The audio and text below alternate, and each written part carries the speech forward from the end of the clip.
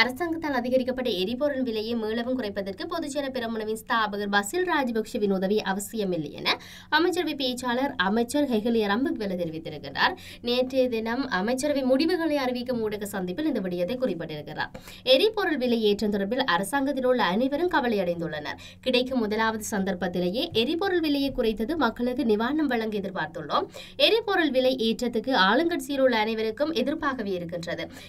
எனினும் வேறு வழியின்றி எரிபொருள் விலை அதிகரிக்கப்பட்டதாக அவர் குறிப்பிட்டிருக்கின்றார். ஆனால் பசில் ராஜபக்ஷ நாடாளுமன்ற உறுப்பினராக அமைச்சரானதன் பின்னர் எரிபொருள் விலை குறைக்கப்படும் என்று கூறப்படுவது தொடர்பில் ஊடகவியலாளர்கள் இன்னும் கேள்வி எழுப்பியிருக்கின்றார்கள். அது நாடாளுமன்ற உறுப்பினர்களின் சிலரது கருத்து எனவும் அரசாங்கத்தின் நிலைப்பாடு இல்லை என்றும் கெகலிய ரம்புக்வெல பதிலளித்திருக்கின்றார்.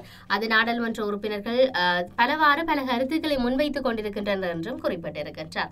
ஸ்ரீலங்கா பொதுஜன பெரமுனவின் தேசிய அமைப்பாளர் பசில் ராஜபக்ஷ நாடாளுமன்ற உறுப்பினராக பதவி ஏற்றதை வலியுறுத்தி நூற்றி பதிமூன்று பொதுஜன பெரமுன உறுப்பினர்கள் கையொப்பமிட்டு ஜனாதிபதி கோடபய ராஜபக்ஷவிற்கு கடிதம் ஒன்றினை அனுப்பி வைத்திருக்கிறார்கள் பொதுஜன பெரமுனவின் நாடாளுமன்ற பின்வரிசை உறுப்பினர்கள் உள்ளூராட்சி மன்ற உறுப்பினர்கள் என பெரும்பாலான உறுப்பினர்கள் பசில் ராஜபக்ஷவிற்கு ஆதரவாக செயற்படுகின்றமை அவதானிக்க முடிகின்றது.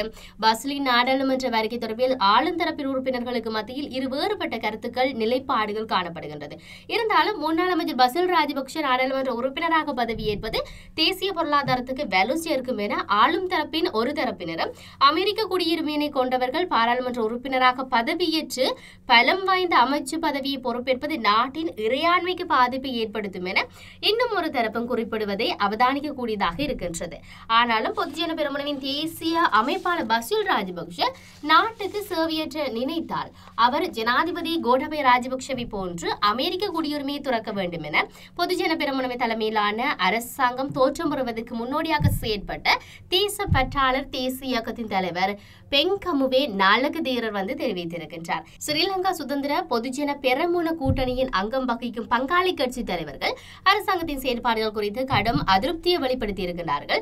பிரதமருடன் பலதரப்பட்ட முறையில் பேச்சுவார்த்தையில் ஈடுபட முயற்சித்தாலும் அது பயனளிக்கவில்லை என்றும் அவர்கள் குற்றம் சாட்டியிருக்கின்றார்கள். இந்த நிலையில் வசல் ராஜபக்ஷ எதிர்வரும் ஆறாம் தேதி நாடாளுமன்ற உறுப்பினராக பதவியேற்பார் என ஆரம்பத்தில் குறிப்பிடப்பட்டது. ஆனால் தற்போது எட்டாம் தேதி என்று குறிப்பிடப்படுகின்றது. வேலைசக்தி அமைச்சர் உதய கமன் பிளவுக்கு எதிராக ஐக்கிய மக்கள் சக்தியினர் கொண்டு வந்த நம்பிக்கையில்லா பிரியரனை விவாதத்துக்கு எடுத்துக்கொள்ளப்பட்டதன் பின்னர் அவர் நாடாளுமன்றம் வருவார் என குறிப்பிடப்படுகின்றது. பஷீல் நாடாளுமன்ற உறுப்பினராக பதவியேற்க வேண்டும் என பல தரப்பினர் கோரிக்கை விடுத்திருந்தாலும் இம்முறை அவர் அக்கோரிக்கையை புறக்கணிக்க முடியாது என பொதுஜன பெருமனவின் பொதுச் செயலாளர் சாகர காரியவசம் இந்த விடயத்தை குறிப்பிட்டிருக்கிறார். எது எப்படி இருந்தாலும் ஸ்ரீலங்காவில் அதிகரிக்கப்பட்டிருக்கின்ற இந்த எரிபொருள் வெளியேற்றம் தொடர்பாக பசில் ஸ்ரீலங்காவிற்கு வருகை தந்தெடுத்து பெரிய அளவில் எதிர்பார்க்கப்பட்ட ஒன்று எரிபொருளில் விலையேற்றத்தில் மாற்றங்கள் ஏற்படப்படும் என்று. ஆனால் இன்று வரைக்கும் எந்த ஒரு மாற்றமும் ஏற்படவில்லை. இப்பொழுது நாடாளுமன்றத்திற்கு அவருடைய வருகை தேவையா இல்லையா என்று சொல்லி எதிர்க்கட்சியினரால் விமர்சிக்கப்பட்டு கொண்டிருக்கின்ற இந்த நிலையில் எரிபொருள் விலையேற்றத்தை குறைப்பது தொடர்பிலான கருத்துக்களும் பல வந்து கொண்டிருக்கின்றன. இலங்கை அரசியலை பொறுத்தவரையில் என்ன நடந்து கொண்டிருக்கின்றது என்பதை நாங்கள் பொறுத்திருந்து பார்க்க வேண்டிய தேவை இருக்கின்றது.